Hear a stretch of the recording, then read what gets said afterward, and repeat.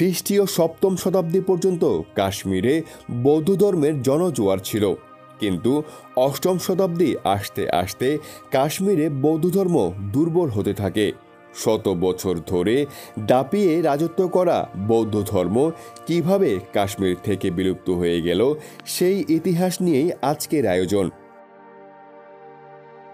প্রাকৃতিক সৌন্দর্যের বিচারে কাশ্মীর যেমন পৃথিবীর স্বর্গ ছিল ঠিক তেমনি ধর্মে কর্মেও তাদের শ্রেষ্ঠত্ব ছিল।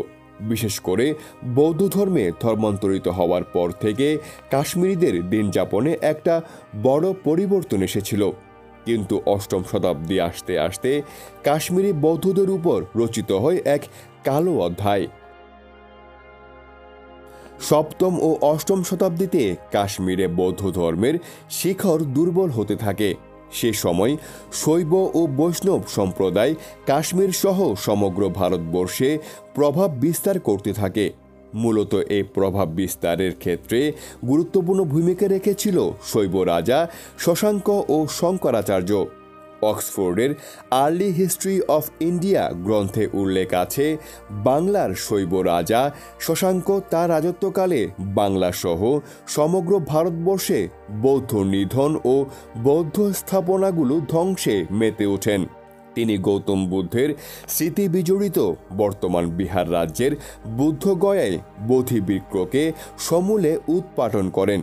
যে বোধি বৃক্ষকে সম্রাট অশোক সহ সমগ্র বিশ্বের বৌদ্ধরা অসীম শ্রদ্ধা করতেন, সেই বোধি বৃক্ষকে শৈব শাসক শশাঙ্ক পাতা থেকে শেকড় সহ সব কিছু জ্বালিয়ে ছাই করে দেন।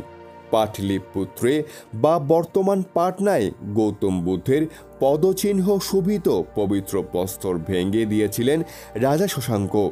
কুশীনগরের বৌদ্ধ বিহার থেকে বৌদ্ধদের বিতরণ করেন বুদ্ধগয়ায় বৌদ্ধ বিহারে গৌতম বুদ্ধের যে মূর্তিটি স্থাপিত ছিল, সেই মূর্তিটিকে অসম্মানের সাথে উৎপাদিত করে সেখানে শিবের মূর্তি স্থাপন করেন।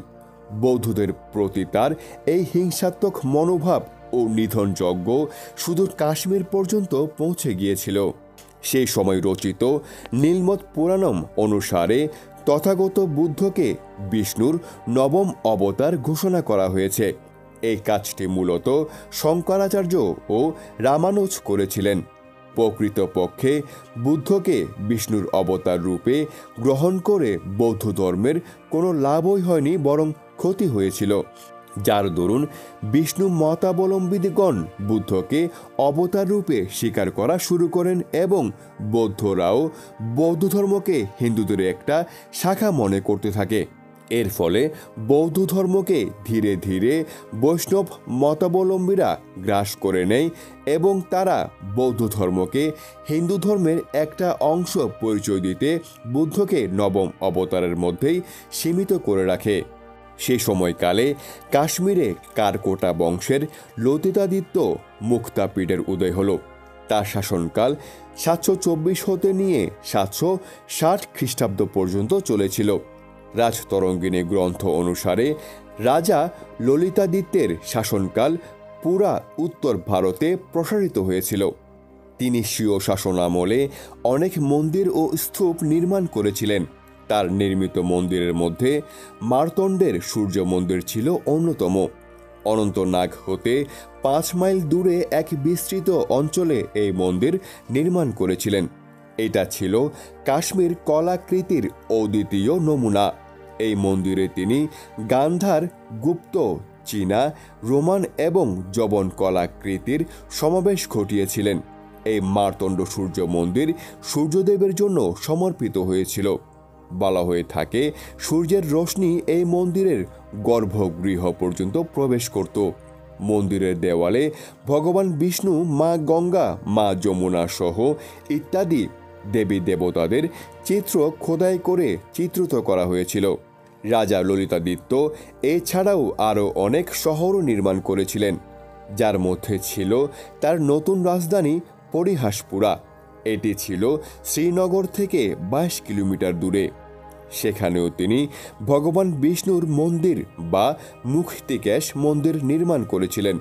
মুখ তিকেশের আকার বড়ই বিশাল ছিল এবং এখানে বিষ্ণুর যে মূর্তি ছিল তা স্বর্ণ দ্বারা নির্মিত। এসব হিন্দু মন্দিরের পাশাপাশি রাজা পরিহাসপুরায় একটি স্তূপ নির্মাণ করেছিলেন। এই বিশাল স্তূপটি সমর্পিত হয়েছিল তথাগত বুদ্ধের জন্য। এই স্তূপে তিনি আফগানিস্তানের বামিয়ান বুদ্ধের দ্বারা প্রভাবিত হয়ে সেরকমভাবে তামার এক বিশাল মূর্তি নির্মাণ করেছিলেন। রাজা ললিতাদিত্যের সময়কাল হিন্দু এবং বৌদ্ধ উভয়ের জন্য কাশ্মীর অনুকূল ছিল বলে মান্য করা হয়। অষ্টম শতাব্দীতে আদি শঙ্করাচার্য কাশ্মীরে আসেন। তিনি কাশ্মীরে অদ্বৈতবাদ প্রমুখ দর্শনের স্থাপনা করেন। উপনিষদ সমূহের অনন্ত ঈশ্বর এবং নাগার্জুনের নেতি নেতি সিদ্ধান্তের প্রভাব শঙ্করাচার্যের অদ্বৈতবাদের ব্রহ্মের রূপে দেখা যায়। আদিগুরু শঙ্করাচার্যের এই অদ্বৈতবাদের সিদ্ধান্ত হিন্দু ধর্মকে এক মজবুত অবস্থা ও হিন্দু দর্শনকে এক উচ্চ স্তরে নিয়ে যাওয়ার সফলতা দিয়েছিল। একাদশ শতাব্দী হতে কাশ্মীরে মুসলিম শাসকদের আক্রমণ শুরু হলেও তা খুব একটা বেশি বৌদ্ধ ধর্মের উপর প্রভাব পড়েনি। চতুর্দশ শতাব্দী হতে, অর্থাৎ তেরোশো উনচল্লিশ হতে নিয়ে পনেরোশো একষট্টি পর্যন্ত এই উপত্যকায় শাহ মিরি রাজবংশের শাসনকালে সমস্ত কাশ্মীরে বৌদ্ধ ও হিন্দু ধর্মের দশায় পরিবর্তন হয়ে গিয়েছিল। তৎমধ্যে তেরোশো উনাশি হতে চোদ্দশো তেরো পর্যন্ত কাশ্মীরে রাজত্ব করা শাহ মিরি বংশের রাজা সিকান্দর শাহ মিরির শাসনমল বৌদ্ধ ধর্ম এবং হিন্দু ধর্মের জন্য বড়ই প্রতিকূল ছিল। সিকান্দর শাহ মিরি সমগ্র কাশ্মীরে হিন্দু ও বৌদ্ধদের মন্দিরসমূহ ধ্বংসের আদেশ দিয়েছিলেন। দেবী দেবতাদের মূর্তিসমূহ ভাঙার কারণে সিকান্দর শাহকে সিকান্দর বুৎসিকনও বলা হয়। তিনি কাশ্মীরে অনেক মন্দির, ধর্মশালা, চৈত্য, বিহার, স্তূপ এবং হিন্দু বৌদ্ধ ধর্মস্থলসমূহ ধ্বংস করেছিলেন। তিনি হিন্দু বৌদ্ধদের যাবতীয় ধর্মীয়, সামাজিক ও সাংস্কৃতিক কর্মসমূহের বিরুদ্ধে প্রতিবন্ধকতা লাগিয়ে দিয়েছিলেন। সিকান্দর বুৎসিকন অমুসলিমদের জন্য ভারী রকমের জিজিয়া কর লাগিয়েছিলেন। অমুসলিমদেরকে জিজিয়া করের জন্য চার তোলা রূপা দিতে হতো।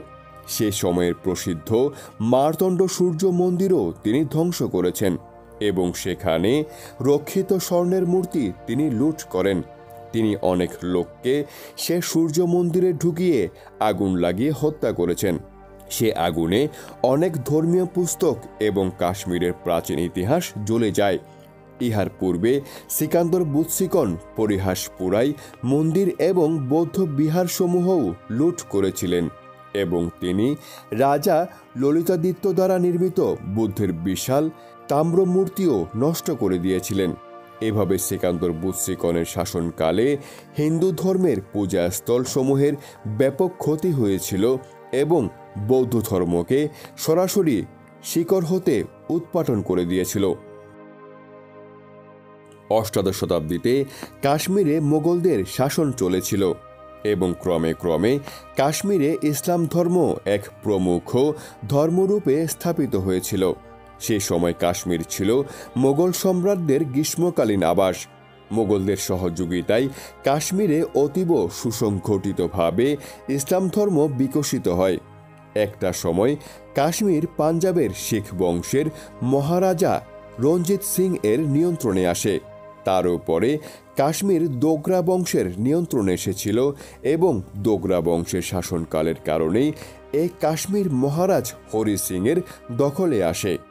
উনিশশো সাতচল্লিশ সালে ইংরেজরা ভারত ত্যাগ করলে মহারাজা হরি সিং সমগ্র জম্মু কাশ্মীর এবং লাদাখ ভারতের সাথে অন্তর্ভুক্ত করে দেয়। ভারত কাশ্মীরের একটি অংশকে নিজেদের নিয়ন্ত্রণে রাখে এবং অপর অংশটি পাকিস্তানের শাসনে চলে যায়। এভাবে কাশ্মীর হতে বৌদ্ধ ধর্ম বিলুপ্ত হয়ে যায়। তবে কাশ্মীর থেকে বৌদ্ধ ধর্ম বিলুপ্ত হলেও সেখানকার একটি অংশ লাদাখে এখনও পুরোপুরি সজীব রয়েছে। যখন ওই কাশ্মীরের গৌরবময় ইতিহাসের কথা উঠে আসে, তাতে বৌদ্ধ ধর্মের যোগদানের ইতিহাস কখনো বিশ্ববাসী ভুলতে পারবে না।